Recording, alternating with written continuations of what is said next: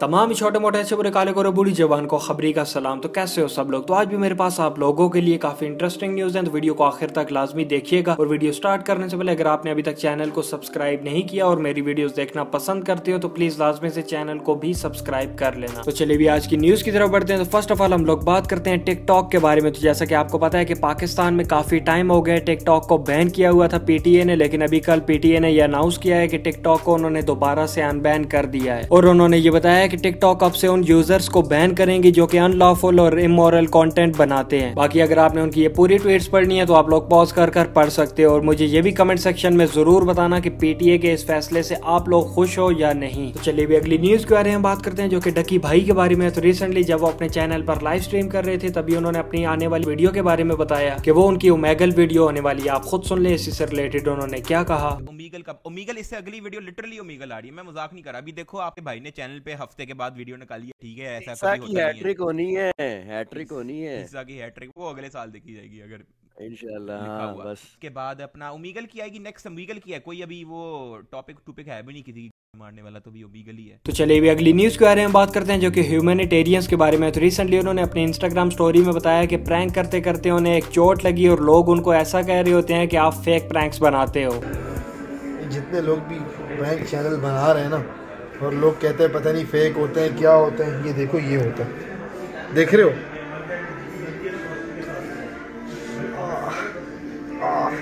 और अभी यहाँ पर चोट वगैरह की बात चल ही रही है तो हम लोग बात करते हैं जुनेद अकरम के बारे में। तो रिसेंटली उन्होंने भी अपने इंस्टाग्राम पर कुछ स्टोरीज अपलोड की जहाँ पर वो व्हील चेयर पर बैठे थे और हॉस्पिटल में मौजूद थे। लेकिन वहीं पे उनके साथ एक चीज़ ऐसी हुई जो कि उनको बिल्कुल भी अच्छी नहीं लगी। उन्होंने बताया कि उनकी हालत काफ़ी खराब थी वो व्हील चेयर पे थे और उनका फ़ैन कोई आकर उनसे सेल्फी मांग रहा था उस हालत में। तो इसी सारे सीन को एक्सप्लेन करते हुए उन्होंने अपने इंस्टाग्राम स्टोरीज में कुछ ये कहा। जी जुनेद भाई क्या हुआ.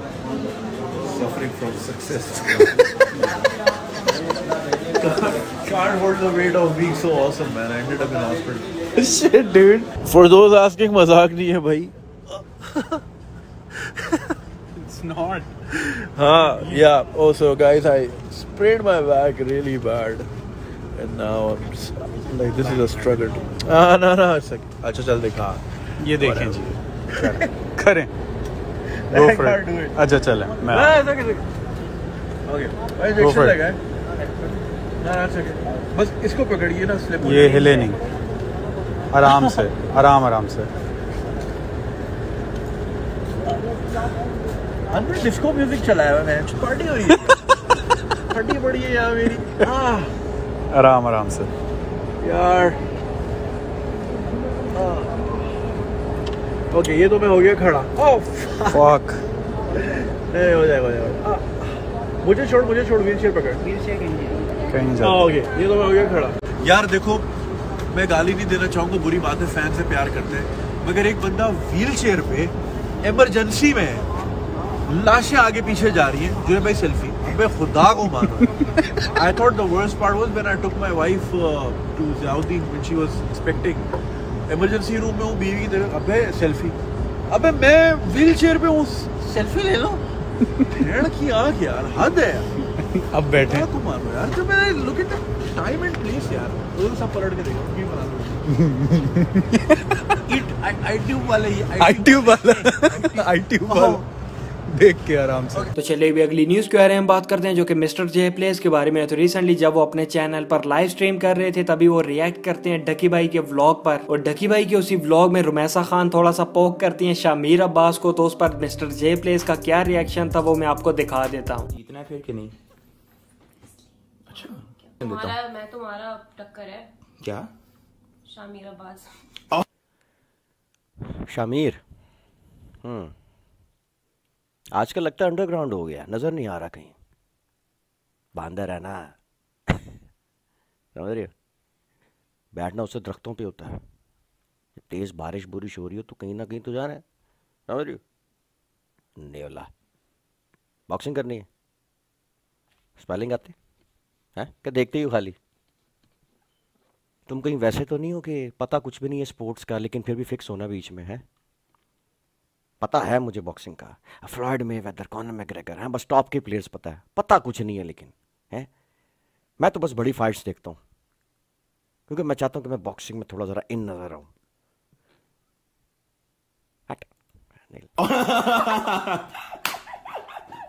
ये देखो। ये देखो। तू शापर है, शापर शमीर, शापर। अंधेरी का शापर है, नेरी का शापर। मुझे कुछ करने की ज़रूरत नहीं है। हवा चलनी तूने वैसे उड़ जाना है। जितनी देर सेहत है, मैंने देख ली है। कुछ भी नहीं है। बस। क्या करेगा रे तू? बॉक्सिंग करेगा। बॉक्सिंग के ग्लव्स भी बड़े हैवी होते हैं। थल्ले ना डिगे डर लगता है मुझे। इस सर पे क्या गया हुआ है झांटू? है? घोंसला नहीं मैं बोलूँगा, कुछ और बोलूँगा। घोंसला नहीं घोंसला तो बड़ी अच्छी चीज़ है।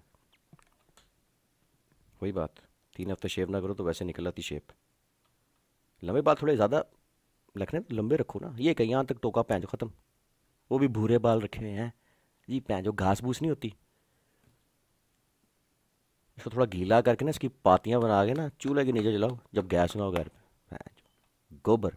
तो इसी के बाद शामिर अब्बास ने भी अपने इंस्टाग्राम पर एक स्टोरी अपलोड की, जहाँ पे उन्होंने कहा, टेंशन मत लो, टीम अल्ट्रा, मिस्टर चे पर जल्दी रोस्ट वीडियो आएगी। इसको अपनी असल औकात भी याद आएगी वीडियो के बाद। दूसरा आर्म रेसलिंग मैच भी होगा भोला रिकॉर्ड के साथ। जो बात करता हूँ मोस्टली पूरी ज़रूर करता हूँ तो थोड़ा सबर कर लो। दूसरा, दुबई में भी काफ़ी कॉन्टेंट बनाया है, उसके लिए भी तैयार रहो। चलिए भी अगली न्यूज़ के बारे में बात करते हैं, जो की फोर्टी खलीफा के बारे में तो रिसेंटली उन्होंने अपनी इंस्टाग्राम स्टोरी में बताया कि उनके नाम से किसी ने फेक फेसबुक पेज बनाया हुआ था। और उल्टी सीधी स्टोरीज पोस्ट कर रहा था उनके खिलाफ। उन्होंने कहा फेक अलर्ट ये बंदा एफपी पे उल्टी सीधी स्टोरीज पोस्ट कर रहा है। काइंडली जो जो इसको फॉलो कर रहा है अनफॉलो कर देना और साथ ही रिपोर्ट भी। और हाँ फेक पेज से याद आया कि मेरे नाम से भी किसी ने एक फेक फेसबुक पेज बनाया हुआ है तो काइंडली जिस जिसने भी फॉलो किया है, वो भी अनफॉलो कर देना। इससे पहले कि आप लोगों में से किसी के साथ कोई स्कैम वगैरह हो तो काइंडली उस पेज को अनफॉलो कर देना जिस जिसने भी फॉलो किया हुआ है। फ़िलहाल मेरा फेसबुक पर पेज कोई नहीं है, जब बनाऊँगा तो इनशाला अनाउंस कर दूँगा। चलिए भी अगली न्यूज़ के बारे में बात करते हैं जो कि एफएम रेडियो गेमिंग के बारे में। तो एफएम रेडियो ने एक चैलेंज लिया हुआ है कि वो 24 फोर आवर्स में कॉन्कर करेंगे पबजी मोबाइल में। मतलब कि जब पबजी मोबाइल की नई आरपी आई थी, तभी उन्होंने ये चैलेंज लिया था और वो स्ट्रीम कर रहे हैं और अभी तक उनकी स्ट्रीम चल रही है। पच्चीस घंटे की तो अभी तक स्ट्रीम हो चुकी है, अगर आपने भी देखनी है तो जाकर देख सकते हो। और इसके अलावा अचीवमेंट्स में हमारे पास लिली लाइव गेमिंग ने कंप्लीट कर लिए हंड्रेड के सब्सक्राइबर्स और इसी के साथ अब बोलोग्राफी को मिल चुका है उनका silver play button many congratulation to all of them तो चले दोस्तों, आज के लिए हमारे पास बस इतनी न्यूज़ थी। मजीद, अगर आप ऐसे ही यूट्यूब कम्युनिटी से रिलेटेड अपडेटेड रहना चाहते हो तो चैनल को ज़रूर से सब्सक्राइब कर लेना। इंशाल्लाह आपसे मिलते हैं नेक्स्ट वीडियो में, तब तक के लिए अल्लाह हाफिज़।